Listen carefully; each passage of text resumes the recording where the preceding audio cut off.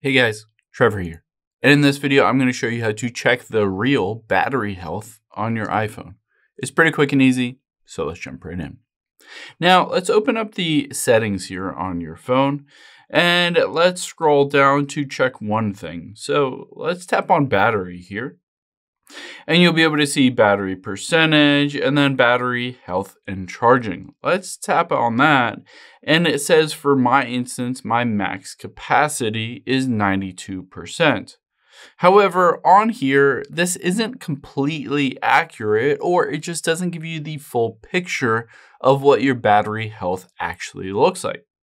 To find more information on that, we're going to check the cycle count of your iPhone. So let's hop out here and just open up a web page on Google and just type in iPhone battery cycle shortcut. So again, iPhone battery cycle shortcut. And there are a bunch of different shortcuts that you can automatically download and use on your phone instead of manually creating a new one. So let's just go down and we can, for instance, use this one from Pay It Forward. Now let's just hit this to download the battery stats shortcut. And you'll see it immediately opens up your shortcuts and just hit add shortcut. And I'm just going to hit keep both here. Now I have this battery stats shortcut that will give me more analytics about my specific battery. But to be able to use that, let's head into our settings again and we'll go back and back. On here, we need to tap on privacy and security and then scroll down because we are going to get to this analytics and improvements. So tap on that. And then at the very top, you can see analytics data. Tap on that. What you're looking for is the most recent analytics report on your phone. So you can see at the very top, analytics 2024 5 13 and then 14, 15, 16, 17, 18, 19. Let's do this 2024 5 19.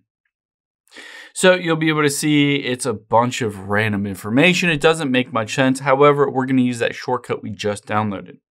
So tap on the share icon at the top right. And then if you just scroll down, you'll be able to see battery stats here. So I can just tap on it and it will start to run. And the cool thing is it says this is your battery's real stats. The max original capacity is 3347 and the nominal charge capacity, this is your current, is 2936. So it says my cycle count. This is how many times my battery has been drained. And then I recharged it is 285 times. And relative to new, this says the battery capacity is 87.72%. So you can see that this is the more accurate battery percentage compared to the 93 or so that the iPhone itself said the capacity was in the settings itself. I hope this helps. If it did, hit the subscribe button down below. It really helps me out. And I'll catch you on the next one.